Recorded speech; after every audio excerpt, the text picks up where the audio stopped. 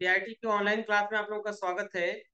आज से हम लोग नए लेसन स्टार्ट कर रहे हैं और ये लेसन है हमारा purchase and sales order management यानी जो परचेज के लिए हमें ऑर्डर प्लेस करना है, वो कब, किस सप्लायर को, कितनी क्वांटिटी के लिए ऑर्डर प्लेस करना है और अगर हमारे कस्टमर से कोई हमें ऑर्डर मिल रहा है तो उस ऑर्डर को किस तरह से हम क्लोज करेंगे, ये सारा चीज़ हम लोगों को यहाँ पे देखना है।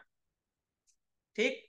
यानी इसका मेन उद्देश्य ये है कि हमारे पास स्टॉक प्रॉपर मेंटेन हो, ना तो हायर स्टॉक का रिस्क हो और ना लोअर स्टॉक का डर। दो चीज़। तीसरी चीज़, हमारे कस्टमर को टाइम से स्टॉक अवेलेबल हो जाए, इसके लिए हम लोग को परचेज और सेल्स ऑर्डर को बेहतर तरीके से मैनेज करना आना चाहिए। समय से पहले ऑर्डर हम प्लेस कर दें। जब कुछ क्वांटिटी बचा हो, उस समय ऑर्डर प्लेस कर दें। ये चीज़ महत्वपूर्ण है। तो इस लेसन को समझने से पहले एक यहाँ पे आपके पास प्रोसेसिंग दे रखा है, एक डायग्राम दे रखा है, इसको बोला जाता है परचेज ऑर्डर प्रोसेसिंग पहले इस डायग्राम को समझिए। सबसे पहला स्टेप होता है कि जब हमें किसी प्रोडक्ट की ज़रूरत होती है तो अपने सप्लायर को हम ऑर्डर देते हैं और उसको रिकॉर्ड करने के लिए हम यूज़ करते हैं परचेज ऑर्डर वाउचर यानी जब कभी अपने सप्लायर को किसी प्रोडक्ट के लिए ऑर्डर देना हो तो वहाँ पर यूज़ होता है परचेज ऑर्डर वाउचर और यह इस वाउचर में एंट्री करते समय जो रिफरेंस नंबर होता है, वो होता है पीओ नंबर पीओ मतलब परचेज ऑर्डर नंबर हमने सप्लायर को जब भी ऑर्डर देंगे तो उसके लिए पीओ नंबर जनरेट करेंगे. PO one zero PO two PO three PO four इस तरीके से ऑर्डर नंबर एक जनरेट करेंगे और उसी ऑर्डर नंबर के थ्रू अपने सप्लायर को हम ऑर्डर देंगे कि हमें ये प्रोडक्ट इतनी क्वांटिटी में चाहिए.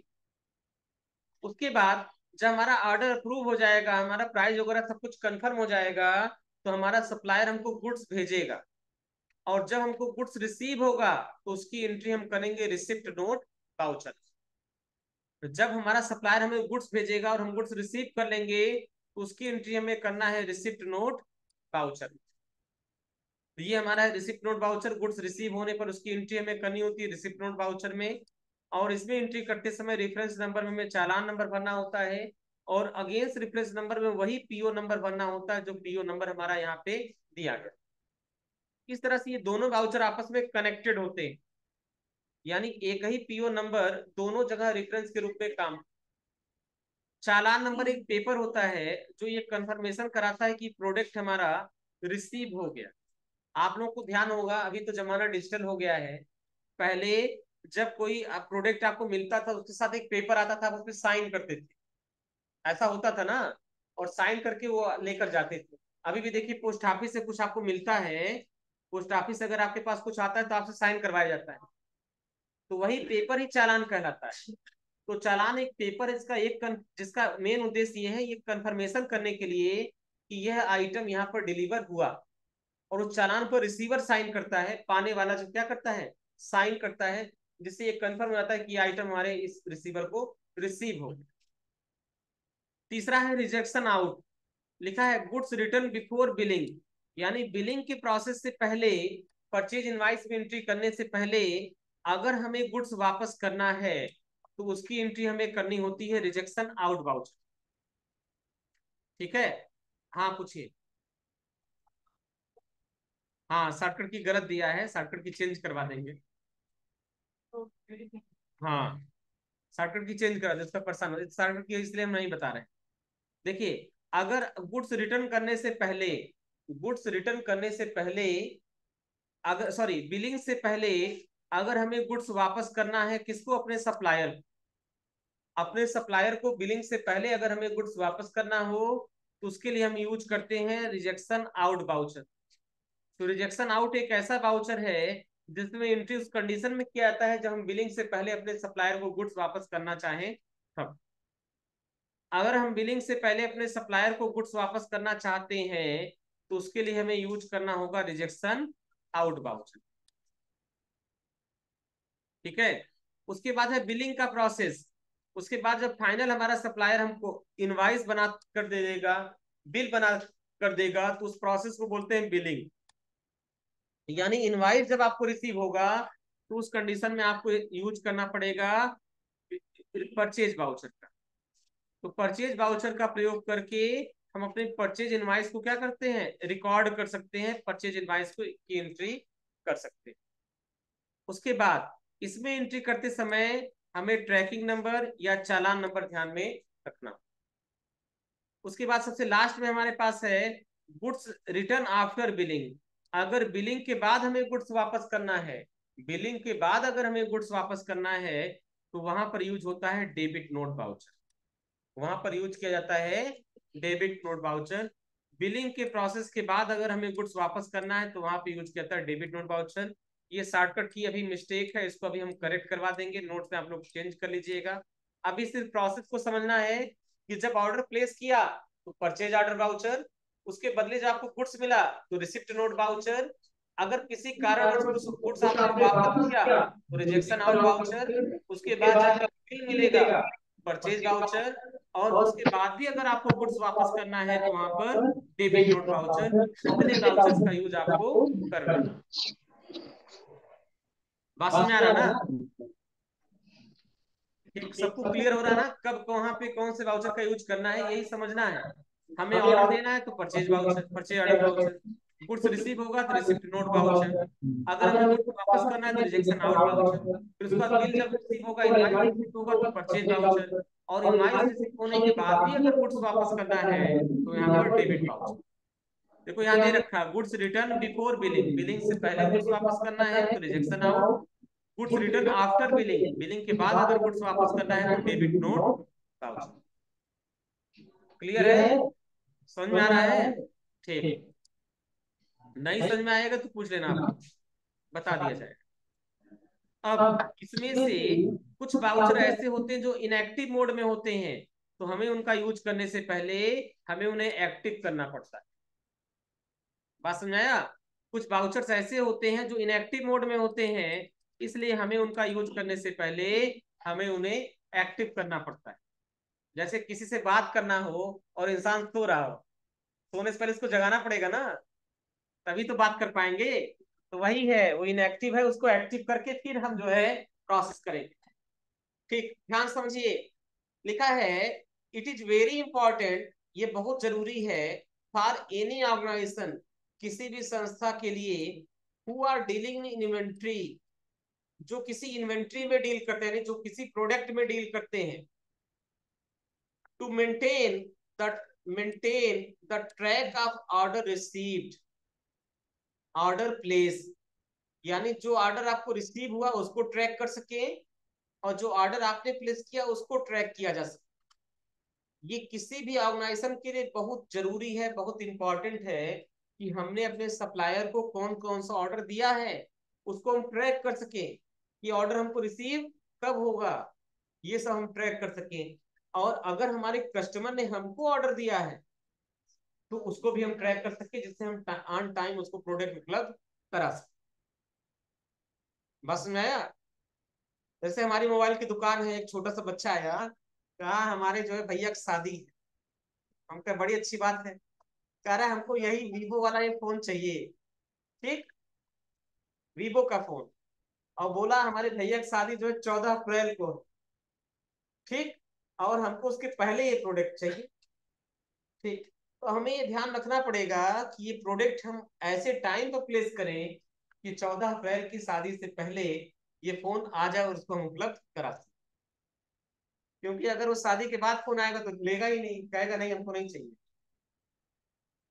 बात सुनाया क्या चीज़? हाँ आराम से लेके सेल्फी खींचेगा बात सुना रहा ना? नहीं फ्री में। बात समझ आ रहा ना? तो हमें अपने कस्टमर को गुड्स डिलीवर कराना है, लेकिन कब? ऑन टाइम डिलीवरी कराना है। आज के पास समय किसी के पास नहीं ठीक है? समय किसी के पास नहीं है, इसलिए प्रोडक्ट डिलीवर कराना ऑन टाइम अच्छा अगर उसको हम ट्रैक नहीं करेंगे, अपने सप्लायर से रेगुलर फॉलोअप नहीं करेंगे, भैया, ये फ़ोन हमको चाहिए, ये चाहिए तो हम क्या टाइम से मंगवा पाएँगे? नहीं।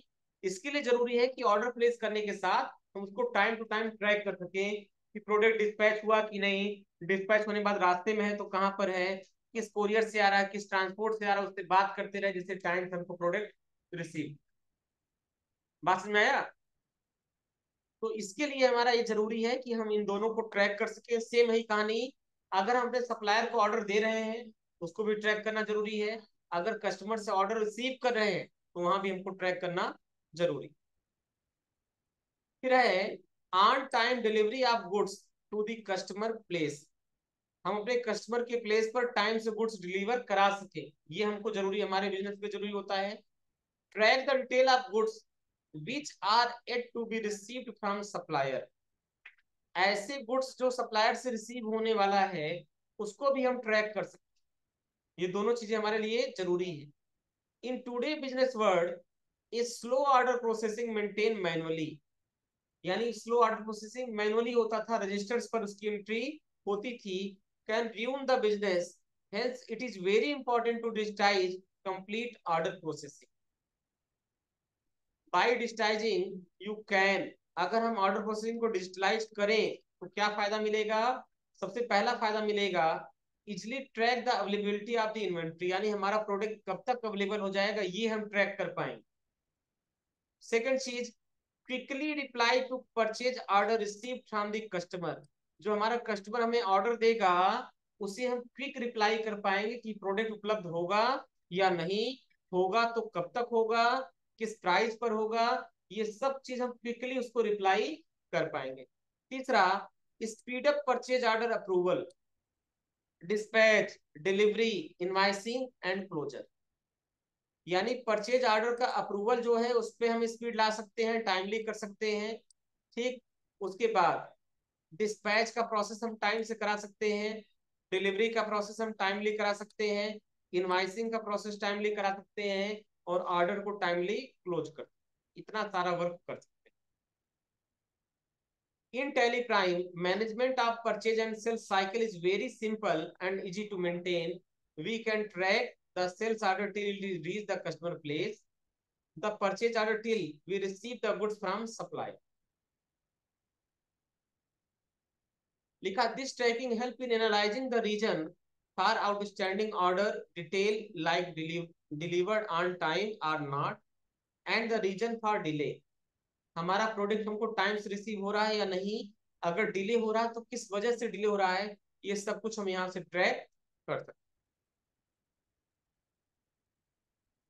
अब देखो, ये ये स्टेप्स हैं। सबसे पहले हम परचेज ऑर्डर क्रिएट करते हैं। क्रिएट करने के बाद हम अपने सप्लायर से परचेज ऑर्डर अप्रूव कराते हैं। यानी रेट वगैरह के लिए सब कुछ एग्री करा लेते हैं। उसके बाद रिसिप्ट ऑफ़ गुड्स उसके बाद हमारा सप्लायर हमको गुड्स भेजता है और गुड्स हम रिसीव करते हैं। उसके बाद इनवाइसिंग करते हैं और उस ऑर्डर को क्लोज करते हैं। जब हम परचेज ऑर्डर देते हैं अपने सप्लायर को तो हमें सबसे पहले ये आइडेंटिफाई करना पड़ेगा किस सप्लायर को हमें ऑर्डर देना है। सप्लायर का नेम कंफर्म होना चाहिए, किस आइटम के लिए सब करना है, क्वांटिटी क्या है, रेट क्या है और डेट ऑफ़ ऑर्डर क्या है। अब एक्सप्लेनेशन दे रखा है, सबसे पहले दे रखा है प्लेसिंग परचेज ऑर्डर यानी सबसे पहला काम हम क्या करते हैं? परचेज ऑर्डर प्लेस करते हैं अपने सप्लायर दूसरा काम हमारे लिए होता है रिसिप्ट ऑफ़ गुड्स दूसरा काम होता है हमारे गुड्स को रिसीव करना। तीसरा प्रोसेस होता है रिजेक्शन ऑफ़ गुड्स अगर कोई गुड्स खराब हुआ तो उसे अपने सप्लायर के पास वापस भेजना। और चौथा approval the purchase invoice purchase invoice का अप्रूवल देना जिससे इनवाइस बनकर आ सके। पांचवा, अगर ज़रूरी हुआ तो परचेज रिटर्न करना। अदरवाइज़ कोई ज़रूरत नहीं है। और final making payment to supplier अपने सप्लायर को पेमेंट देना। ये सारी इसके साइकिल है। ये सारे स्टेप्स सबसे पहले हम ऑर्डर देंगे।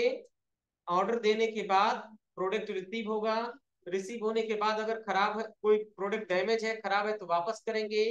और वापसी के बाद फिर हमको जो है इनवाइस मिलेगा। इनवाइस के बाद अगर हमको रिटर्न करना है तो डेबिट नोट और उसके बाद भी वापसी करना है पेमेंट करना है तो पेमेंट वाउचर अब देखिए to to return the damage goods we have used the vouchers rejection out and debit note ये बोला जा रहा है कि डैमेज गुड्स की वापसी के लिए दो बाउचर आपके पास दिए गए हैं।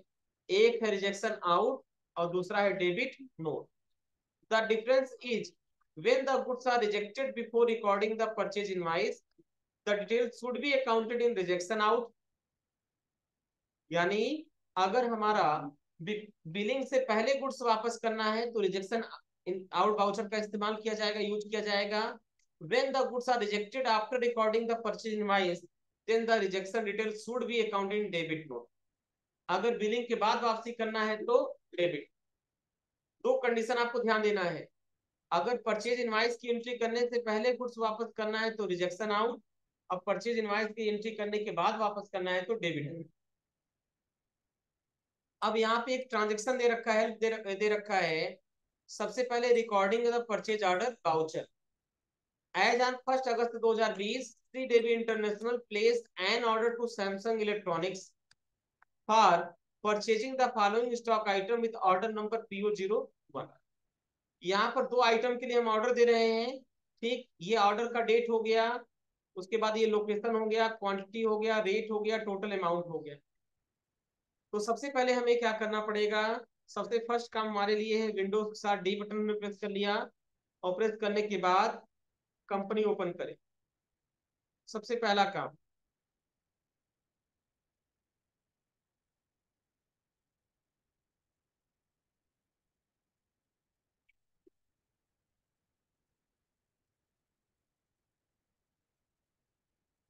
और कंपनी ओपन करने के बाद यहाँ पे हम डेटा में आ गए और डेटा में अपनी कंपनी को सिलेक्ट कर लेंगे। अब हमें क्या करना है? सबसे पहले हम क्रिएट पे जाएँगे और लेजर पर जाएँगे और यहाँ पे हमारा सप्लायर दे रखा है सैमसंग इलेक्ट्रॉनिक्स इसका लेजर हमें बनाना है। तो हम यहाँ सैमसंग इलेक्ट्रॉनिक्स को कर लिया, हमने यहाँ से कॉपी और हमें इसी के नाम से एक लेजर बनाना है। ठीक है?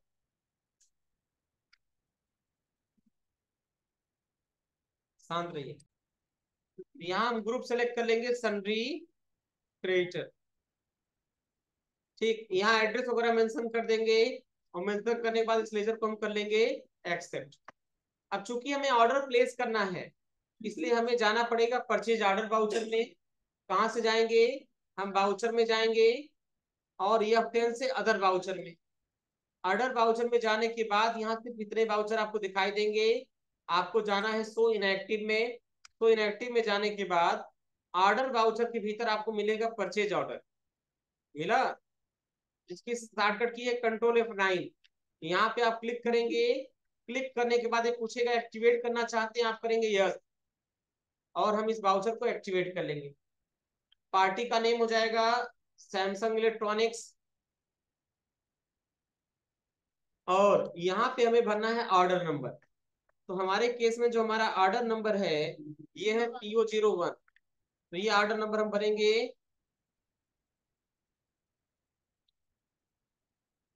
और यहाँ पे हमें एक नया लेजर बनाना है अल्ट सी से और ये लेजर हो जाएगा हमारा परचेज ऑर्डर ठीक?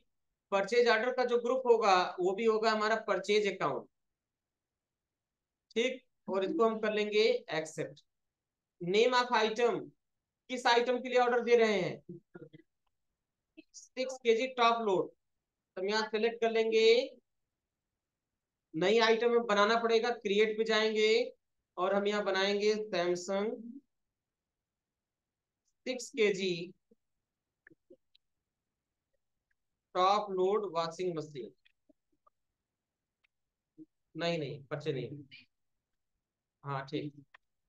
अब यहाँ पे चूँकि ये सैमसंग का वॉशिंग मशीन है, इसलिए अर्थ सी से ग्रुप बना लेंगे। ग्रुप का नाम हो जाएगा सैमसंग वॉशिंग मशीन, ये हमारा ग्रुप हो जाएगा। क्या हुआ?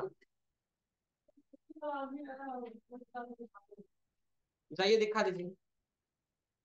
यहाँ पे कैटेगरी पूछा जाएगा तो ये हमारा टॉप लोड, इसलिए कैटेगरी टॉप लोड सेलेक्ट करेंगे, यूनिट नंबर हो जाएगा, कंट्रोल ए से करेंगे, एक्सेप्ट। ठीक, अब यहाँ हमें क्वांटिटी देना है तो हमारी क्वांटिटी कितनी है? पचास पीस, पंद्रह हज़ार के रेट से। हम भरेंगे पचास पीस तो रेट हो जाएगा पंद्रह।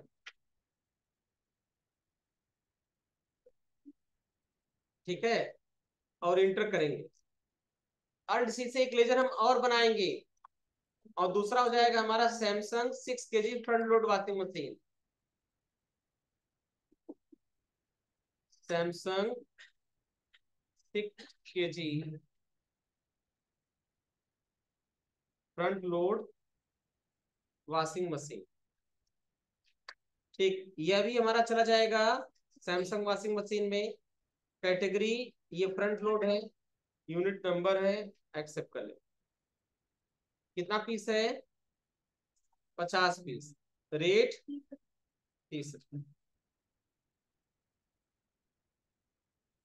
ये ऑर्डर हमने प्लेस कर दिया। ठीक अब ऑर्डर प्लेस करने के बाद आपको रिपोर्ट चेक करना है। ठीक, ये ऑर्डर प्लेस करने के लिए बताया गया है। ठीक। अब इसको चेक करने के लिए आपको जाना होगा परचेज ऑर्डर वाउचर रजिस्टर में। तो आप यहाँ पे अल्ट जी में आ जाएँगे और यहाँ सर्च कर लेंगे परचेज ऑर्डर तो आपको यहाँ मिलेगा purchase order purchase order vouchers के नाम से दिखाएगा। यहाँ पे आएँगे तो यहाँ पे आपको वो ऑर्डर दिखाएगा जो ऑर्डर आपने प्लेस किया। ठीक है? तो ये हम हो गया हमारा पहला ऑर्डर ठीक। फिर इसके बाद एक रिपोर्ट और आपको चेक करना है। दूसरा जो रिपोर्ट है वो है परचेज ऑर्डर ड्यू ओनली देखिए, यहाँ पे हमारा लिस्ट ऑफ़ ऑल ऑर्डर हमको दिखाएगा। और हम गोटू पर अगर आए और यहाँ सर्च करें परचेज ऑर्डर ड्यू ओनली तो यहाँ पे हमें यही ऑर्डर दिखाई देगा। बस दो अलग अलग लाइन में दिख रहा है कि इसमें दोनों आइटम के लिए अलग अलग दिख रहा है। ये आइटम वाइज यहाँ पे दिख रहा है। देखो order number PO zero one PO zero one दोनों है। सैमसंग इलेक्ट्रॉनिक्स के लिए बस आइटम अलग अलग यानी ये ऑर्डर हमारा क्या है? ड्यू है, बकाया है। अभी तक रिसीव नहीं हुआ। ठीक है? इसकी एंट्री करने के बाद एक परचेज ऑर्डर आपको और देना है, ये एलजी वाला है। हो जाएगा? ठीक तो यही दो एंट्री आज आपको करना है। केवल परचेज ऑर्डर की एंट्री आज आपको करनी है। ठीक? तो बस आज की क्लास यहीं पे समाप्त हो रही है।